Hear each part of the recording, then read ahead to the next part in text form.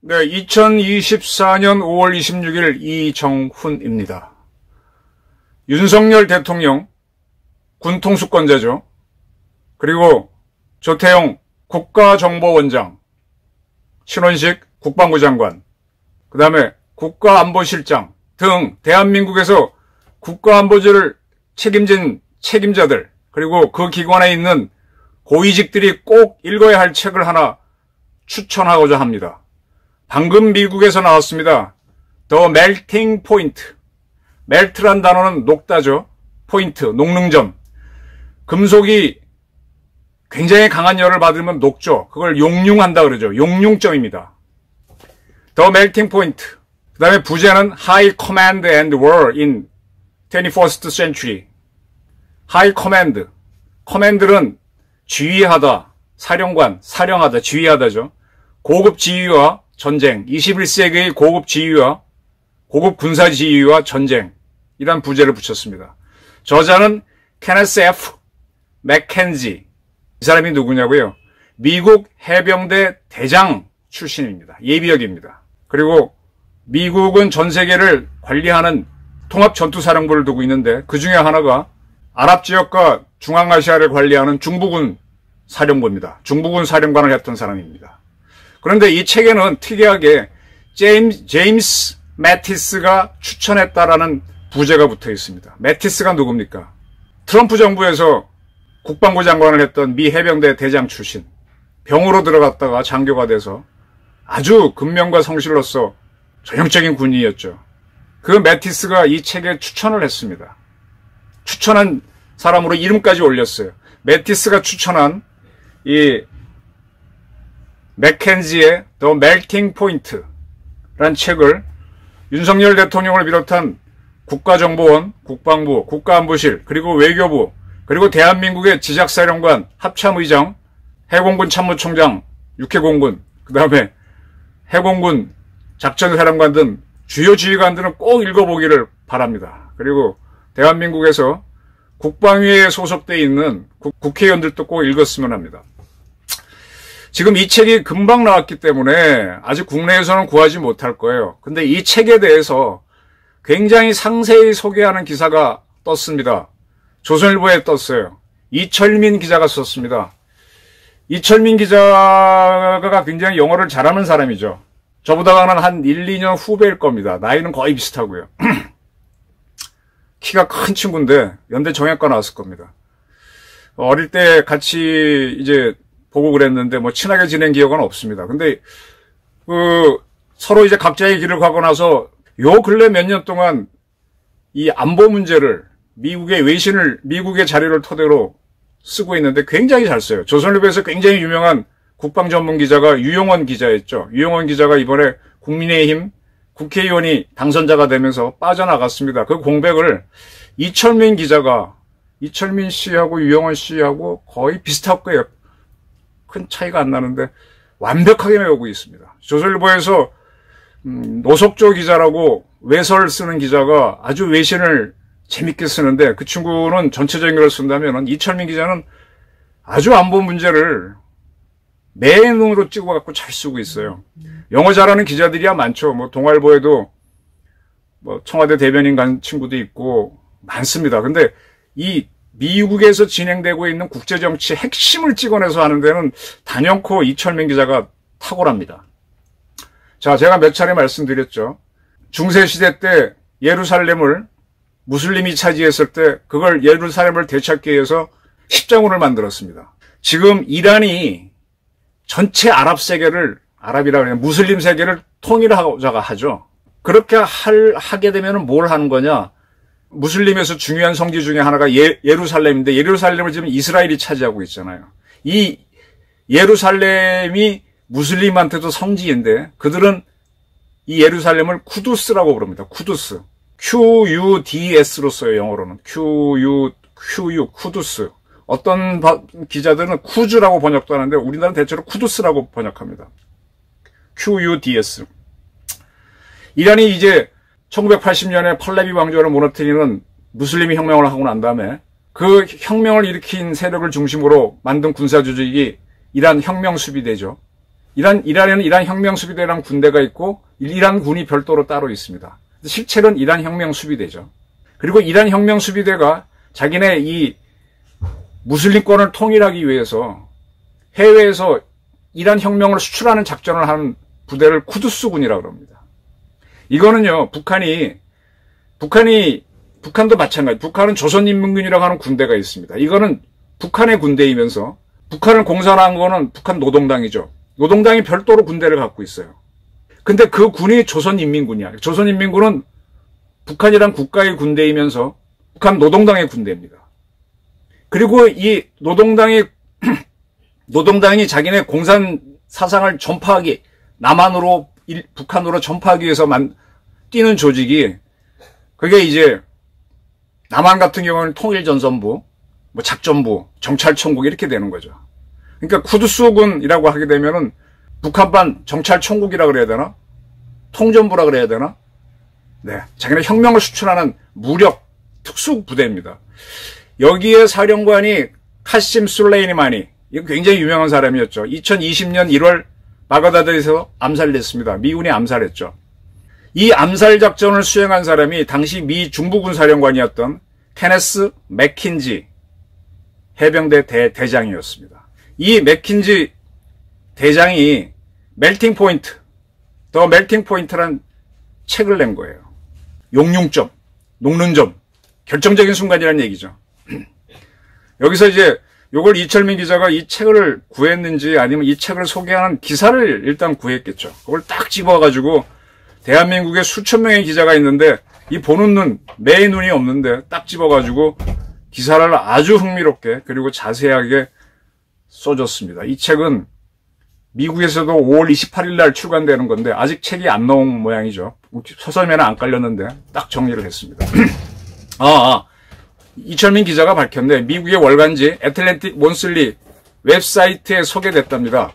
이 Melting Point의 주요 내용이 그걸 이제 요약해서 소개한 겁니다.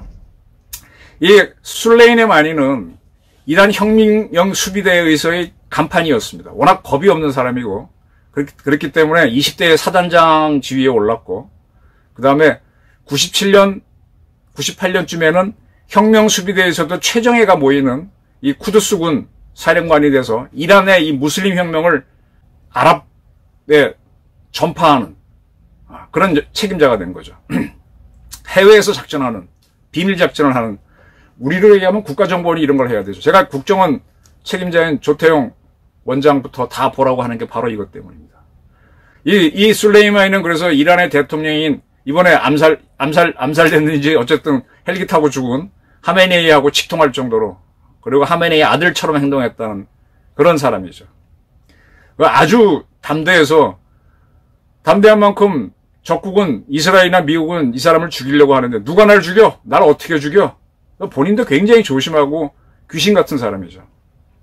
그래서 이제 이, 이 쿠두스 군이 지금 이스라엘이 때리고 있는 하마스 세력을 후원하고 또 예멘에서 반관하는 후티를 하고 또 레바논이나 이런 데서 뛰고 있는 헤즈볼라 이 반군들을 지원하면서 계속 그 이란식 혁명을 추진하잖아요. 때문에 미국은 이 술레이니 마니를 죽이고 싶어 하는데 아들 부시 대통령 그다음에 그 미국 대통령 사상 가장 천재라고 하는 오바마 대통령도 이 작전을 결심 못합니다. 왜냐? 이 술레이니 마니를 죽이는 작전을 했다가 실패하게 되면 그 어떤 파문이 일지 모르고 성공시켰다고 하더라도 어떤 파문이 일을지도 모릅니다. 그런데 아주 특이한 거는 이스라엘도 딱 술레인의 마인을 잡으려고 모사드가 뛰긴 뛰는데 번번이 놓쳤다는 거죠. 술레인의 마니가 계속 쿠드스군을 지휘하면서 헤즈볼라, 하마스, 후티 이걸 동원해서 계속 이런 세력들이 예멘에서는 기존 정부를 뒤집고 시리아, 레바논 에서 기존 정부를 뒤집고 이스라엘 쫓아낸 건 하마스가 하고 사우디 UAE에서도 뒤집고 해서 이란식 혁명을 일으켜서 이란이 전체 무슬림을 통일하자. 이거는 과거 히틀러가 이끌었던 나치당이 체코에도 나치당을 만들고 오스트리아도 만들고 그 당들이 뒤, 정권을 잡으면서 오스트리아가 독일의 국민투표를 통해서 합병이 되고 체코 중에서는 주테텔란트가 독일에 들어가고 그러면서 전쟁이 터지는 거잖아요. 그걸 잘한다면 이 혁명 수비대의 쿠두스군이 뛰는 거를 그대로 두고 있으면은 히틀러의 나치당의 예를 보게 되면 전쟁이 큰 전쟁이 날 수 있는 겁니다. 똑같이 대한민국에서 북한의 정찰 정국이 뛰고 통전부가 뛰고 작전부 이런 데들이 뛰는 걸 가만히 두고 있으면은 큰 전쟁이 날 수 있습니다. 북한은 대한민국만 공산화하는 게 아니라 일본도 공산화, 대만도 공산화 이렇게 해서 전 세계네가 자기네가 지배하자는 게 북한 노동당의 기본 노선입니다. 중국도 마찬가지고요. 자, 2019년에 이제 이 해병대 대장 맥킨지가 중부군사령관으로 임명이 됐습니다. 그 이 작전사령관이 딱 됐을 때 그러면 자기가 하, 해야 할 일이 있잖아요. 그게 뭐예요? 이 중앙아시아에서 가장 위협 세력은 이란입니다.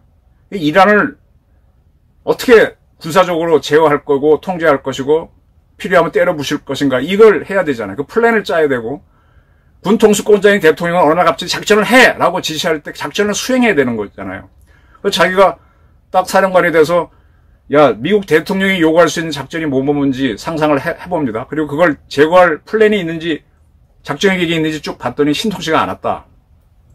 그래서 이 사람은 딱 타겟으로 잡은 게 누구냐? 술레이마니를 제거하는 작전을 검토. 그건 사실 미국 중부군 사령관이 딱 검토한 겁니다. 미국 CIA 국장도 검토하고 했는데 잘 안 된 거죠. 자, 이 통합 전투 사령부이기 때문에 거기에는 육해 공군 해병대 이런 부대를 딱 모은 통합 전투 부대가 있습니다. 그 중에 하나가 특수전 부대만. 그러니까 미국의 그린베데라고 하는 육군 특수전 부대, 그 다음에 해군의 우리는 이제 유니티라고 하는 그 부대, 그 다음에 해병대의 특수부대, 공군의 특수부대만 모은 합동 특수작전 부대가 중부군 사령부에도 있고 인도 태평양 사령부에도 있고 다 있습니다. 그런 거를 이제 그런 각각의 부대를 이 통합 전투 사령관인 중부군 사령관이 지휘하죠. 그래서 이 사령관이 야 통합 합동 특수작전 부대 책임자한테 어이 술레마이나 제거할 수 있는 작전이 있어? 한번 찾아봐 라고 지시를 합니다. 근데 사실은 이거 자기만 관심이 있었던 게 아니라 미국 CIA도 또 이란의 혁명 전파를 두려워하는 사우디나 UAE나 카타르나 이스라엘도 다 술레이만의 제거에 관심이 있었는데 누구도 제대로 된 계획이 없었던 거죠. 어쨌든 이 사람이 지시하니까 그 중부군 산하의 합동 특수작전 부대장이 계획을 갖고 옵니다. 이렇게 이렇게 하면 될 것 같다. 그래서 자기가 쭉 보면서 가능성이 적은 거를 제외하고 가는 것 가능성이 있는 걸 딱 준비하고 있었어요. 그러다가 이제 사건이 일어나죠. 어느 언제 이걸 쓸 것이냐. 제가 몇 차례 우다 계획이라는 걸 얘기했죠. 군사작전이라는 건뭘 하는 거냐. 적이 나를 갑자기 딱 때렸을 때 그때 총 두고 일어나서 실탄 집어넣고 드드득 하면 다 죽어요. 현대전에서는.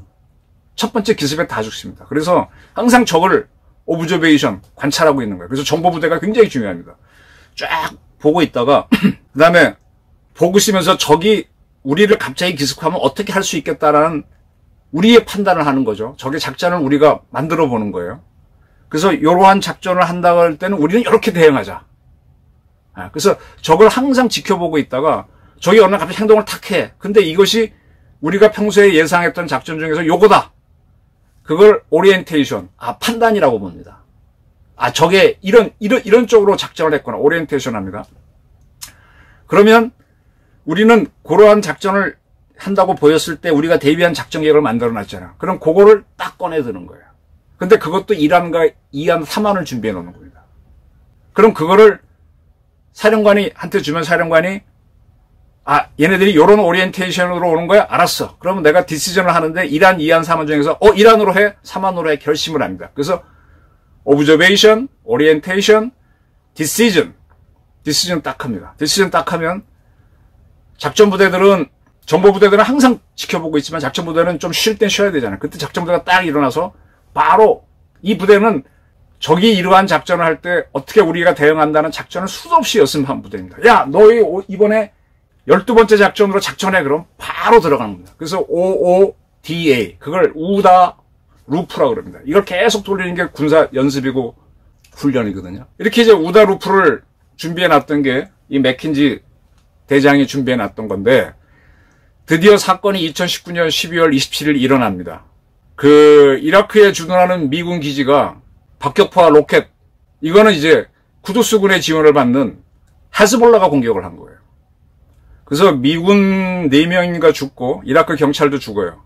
이제 그때까지는 그때까지는 이 쿠두스의 지원을 받는 헤즈볼라나 이런 애들이 공격을 많이 했지만 미국이 다 막아내고 사람이 안 죽었어요. 근데 이때는 죽었어. 그 미국이 고민하는 거야. 이제 보복을 해야 되는데 이 보복을 잘못했다가는 이란이 전면전으로 덤비면 전쟁이 나니까 부담스럽잖아요. 그 다음에 응징을 했다 실패할 수도 있지 않습니까? 있지 않습니까? 이때 미국에서 어떤 얘기가 나오느냐. 미국의 한 안보 책임자는 CNN 방송에 나와서 지금까지 이 쿠두스군의 지원을 받는 그러한 헤즈볼라 같은 이런 조직들이 미군을 상대로 163번 공격했는데 다 실패하고 164번째 공격에서 미군들을 죽였다. 이거는 그들의 운이 좋은 거지. 그들이 뭐 특별히 이번에 작전을 잘한 게 아니다고 얘기합니다. 이게 뭐냐? 미국에도요 비겁한 자들이 많은 거예요. 우리나라 이재명이라든지 이런 문재인 같이 겁쟁이들 많잖아요. 사실 대한민국 장성들에도요 겁쟁이 엄청 많습니다. 다 이렇게 얘기합니다. 아, 그 자식들이 운이 좋아서 이번에 성공한 거지. 원래 우리는 철통까지 다 막아내는데 참 뭐 이번에 뭐 날씨가 나빠서 그랬습니다고 맨날 싸울 수 있다고 하면서 당장 싸워 그러면 다 피합니다. 이런 얘기까지 나옵니다. 실제로 CNN에서 보도가 됐어요. 그때 미국 대통령이 트럼프예요. 이 트럼프를 우습게 보는 사람들이 많은데 트럼프가 굉장히 영리합니다. 그리고 미국 국방부 장관은 그때는 에스퍼였습니다.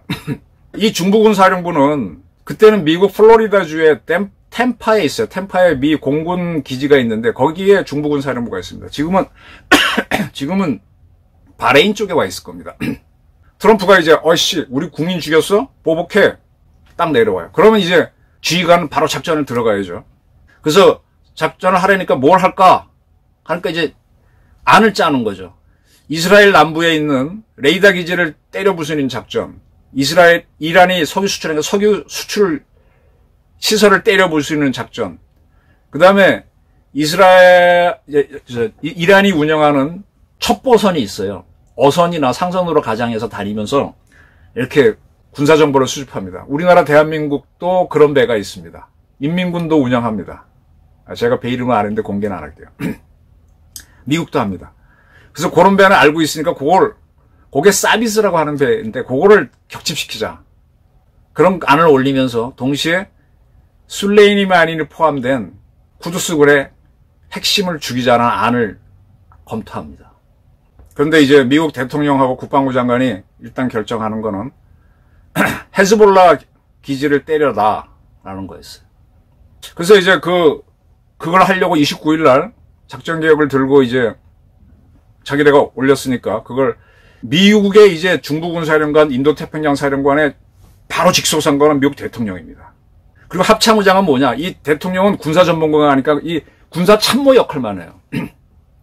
대통령이 때리라고 했으니까 이제 합참의장이 국방부 장관과 들어가서 자 이렇게 이렇게 하겠다고 보고를 합니다. 근데 그때 이미 미국의 합참의장은 트럼프를 아니까 트럼프는 이거 갖고 만족 안 할걸? 술레이니 마니를 제거하기를 원할걸? 그래서 이제 일단은 그 헤즈볼라 기지 타격하는 안과 더불어 술레이니 마니를 제거하는 작전도 이런 게 있습니다 하고 추가로 넣어서 올려봤죠. 트럼프가 이걸 선택합니다. 그러니까 미국의 합참의장은 비겁하지 않았던 거예요. 그가 비겁했으면 이거 제거했을 텐데 미국의 중부군 사령관도 자신이 있었던 거예요. 속으로는. 해보자. 그럼에도 불구하고 29일 날 이제 헤즈볼라 세력을 때립니다. 그런데 트럼프 대통령은 그걸 보고를 받고서 이거 갖고는 안 돼. 술레이마니를 잡자. 근데 술레이마니가 지금 이란에 있으니까 잡을 수가 없으니까 저자가 쿠두스군 지휘하기 위해서 해외로 나올 때 이라크에 올 때 때려라. 딱 지시를 내립니다. 그가 이제 29일 날 헤즈볼라를 때리고 난 다음에 이 중부군 사령관이 자기 참모들을 모아가지고 자, 이 작전은 끝냈고 술레이니 마니가 오면은 죽이자. 작전 계획 짜라라고 하니까 중부군 사령부의 참모들이 놀래죠. 어, 이거 했다가 이란이 큰 전쟁 일으키면 전 세계 전쟁인데 어떡할 겁니까? 그러니까 그래 그것도 알 수 있어. 근데 우리가 지금까지 미국 국민이 죽고 군인이 죽었는데 가만히 있으면 이란이 점점 덤벼지면서 커질 수 있으니까 우리는 빵 때리고 그다음에 전쟁이 못 나도록 꽉 억눌러야 된다. 빵 때리고 반드시 응징보복하고 걔네들이 못 나오도록 짓눌러야 된다. 이걸 만들으라 그래. 굉장히 이제 참모들이 머리가 아픈 거죠. 그때부터 이제 술레임 제거 작전을 본격적으로 만들죠. 그러면서 하는 게 FFF 작전을 준비합니다. 뭐냐? 술레이니 마니가 움직이는 동선을 찾는, 추적하는 파인딩 작전을 합니다. 정보부대가 해야 되죠. 이거는 미국 CIA 뿐만 아니라 NSA, 미국의 이제 그 위성 부대 총 동원돼 갖고 옛 동선을 찾는 겁니다. 그 다음에 통신감청 통해서 하고 그 다음에 이제 그자가 어디를 와. 근데 그거는 그자가 움직이면 경호원부터 부하들이 움직이는데 이게 민간인이나 다른 군인하고 섞였을 때 민간인을 죽이면 안 되잖아. 그만 딱 골라내야 돼.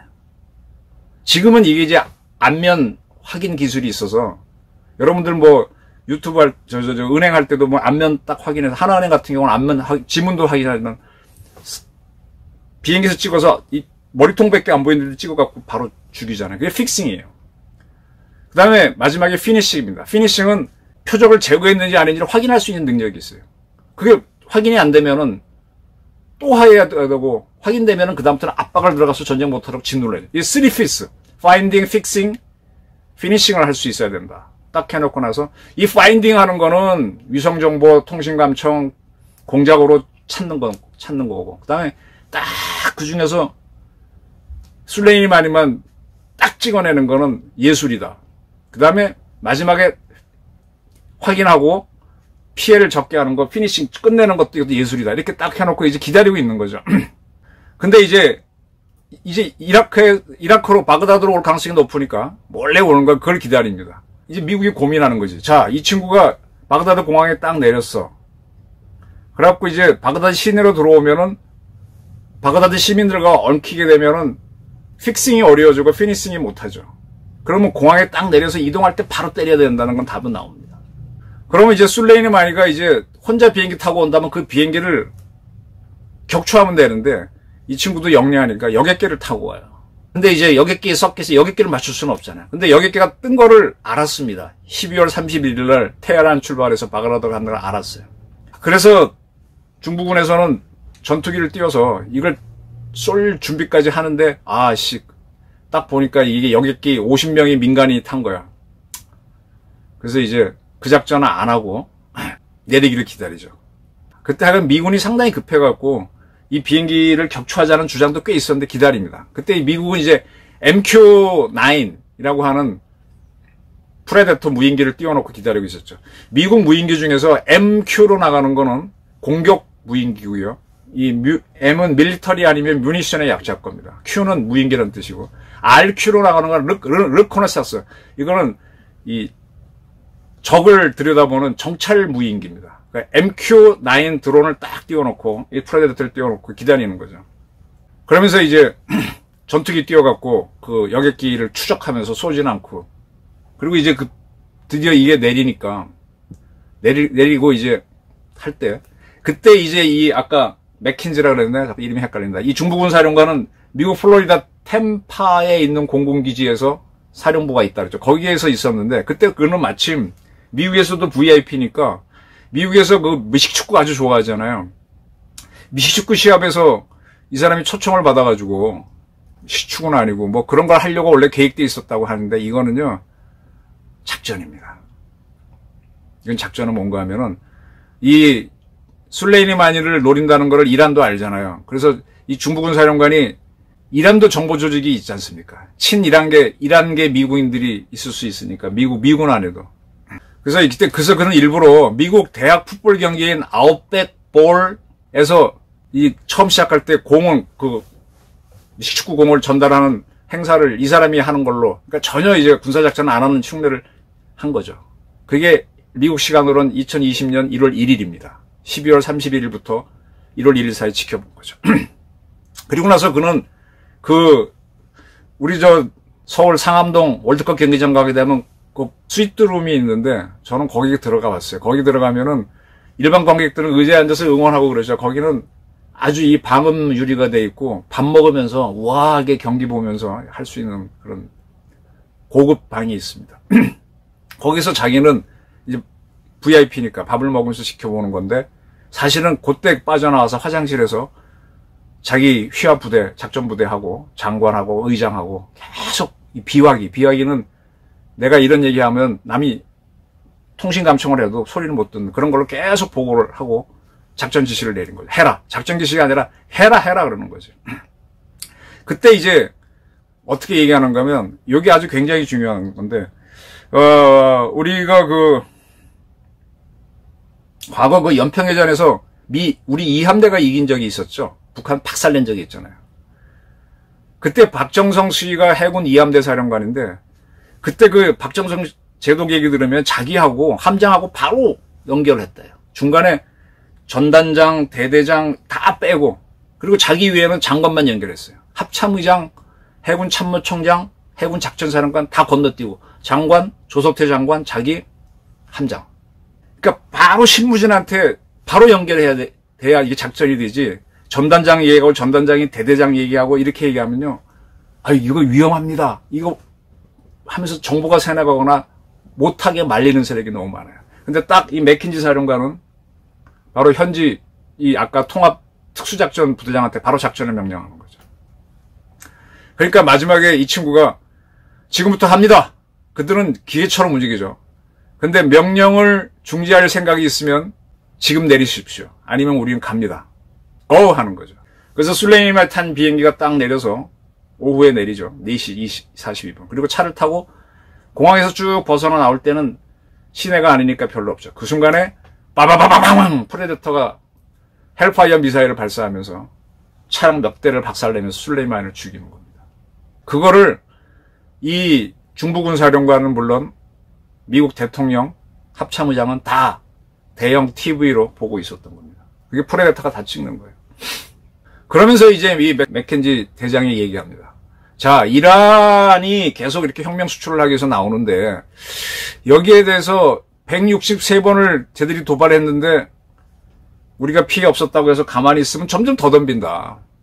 그러니까 우리가 뭔가 강력한 응징을 해야 되는데 응징을 했다가 쟤네들이 세게 나와서 전쟁이 나면 어쩔 것이냐. 그러니까 전쟁 못하도록 짓눌러야 된다. 근데 우리가 대응을 안 하면 점점 이란은 간땡이 부어서 점점 큰 도발을 한다. 그래서 나는 트럼프가 올바른 결정을 했다라고 본다. 이렇게. 그리고 자기는 전쟁을 못하도록 완전히 짓눌렀다는 겁니다. 그리고 이렇게 반복된 게 이번에 이스라엘이 쿠두스군 사령관 술레이만이 죽었고 새로운 사령관이 그 시리아에 왔을 때 그 영사관 여권을 했을 때 그 이스라엘로 보이는 세력이 때려서 죽여버렸죠. 그러니까 이란은 그때 기억이 있으니까 300여 발의 미사일을 쐈는데 그걸 미국하고 이스라엘이 완벽히 막아버렸죠. 그리고 이란은 그걸로 끝. 그러나 이스라엘은 이스라엘하고 밝히지 않고 이란의 레이더 기지를 또 때려 부셨습니다. 이렇게 하면 이란도 겁먹어요. 그러고 나서 이란 대통령이 헬기 타다가 타고 가다 이번에 죽었습니다. 이렇게 다뤄야 된다는 겁니다. 제가 그래서 이 책을 우리 군에서 구입해가지고 다 보라고 요약해서 영어 잘하는 친구들 빨리 보고해서 보라고 아니 이철민 기자가 쓴 기사라도 다 읽어보라고 꼭 봐야 돼요. 우리 윤석열 대통령도 봐야 돼. 왜? 김정은 이렇게 다루어야 되고 북한에서 핵미사일 개발하는 사람들 이렇게 제거해야 돼. 북한 정찰 총국장, 작전 총국장 이런 식으로 제거해야 된다고. 문재인이는 계속 물러나잖아요. 아직도 개소리 하고 있잖아요. 변방에서 중심에서 중심으로인가 해서. 그 미국은 뭐냐? 까부는 놈은 꽉 때리고 전쟁 못하도록 꽉 누르고 이걸 늘 해왔다는 겁니다. 이게 미국은 그래 우리는 전쟁을 원치 않는다. 그러나 니들이 덤비면 또한 싸움을 회피하지 않는다. 이거죠. 이렇게 해야만 저게 자꾸 쟤네들이 무너져 가는 거고 문재인처럼 다루면 세계를 못 다룹니다.